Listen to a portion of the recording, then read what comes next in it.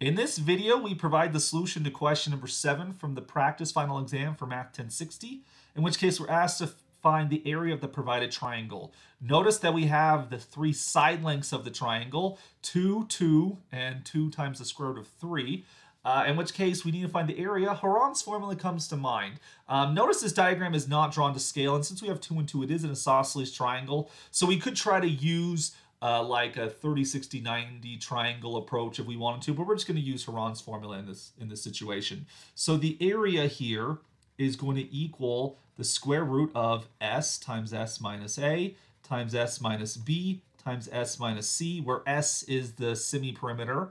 It's the sum of the three sides divided by 2. So we end up with 2 plus 2 plus 2 times the square root of 3 over 2. This gives us 4 plus 2 root 3 over 2, or in other words, 2 plus the square root of 3. That's our s value there. And so when we look at all the possibilities, we're going to end up with 2 plus the square root of 3. Uh, we're going to then get s minus, in this case, 2. That gives us the square root of 3. We're going to get s minus, again, this uh, minus 2, right? You're going to get the square root of 3 again. And then finally, you're going to get s minus here, 2 root 2. That's going to give us 2 minus the square root of 3, like so. Now notice the square root of 3 times itself is going to give us 3. And then if you take the square root, or 2 plus root 3 times it by 2 minus root 3, that's its conjugate, they actually end up with 4 minus 3. This is still inside of the square root, of course.